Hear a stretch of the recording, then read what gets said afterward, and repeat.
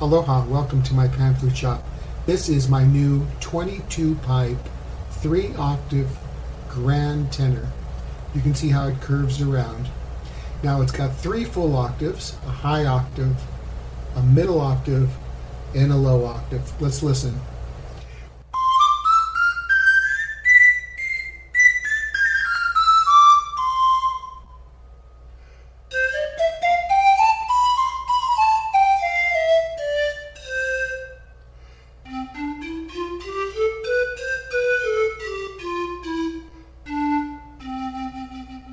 Three octaves.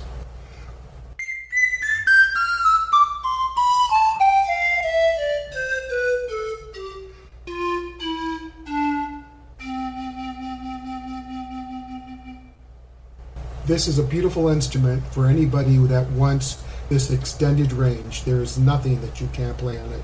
It's uh, tuned in the key of C. The lowest note is middle C. It's pretty much uh, like a silver flute, and you can play all the sharps and flats.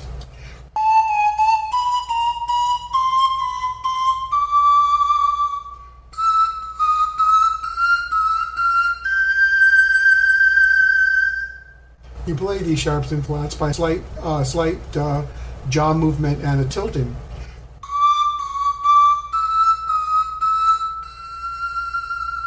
A little bit uh, more tilting on the low notes.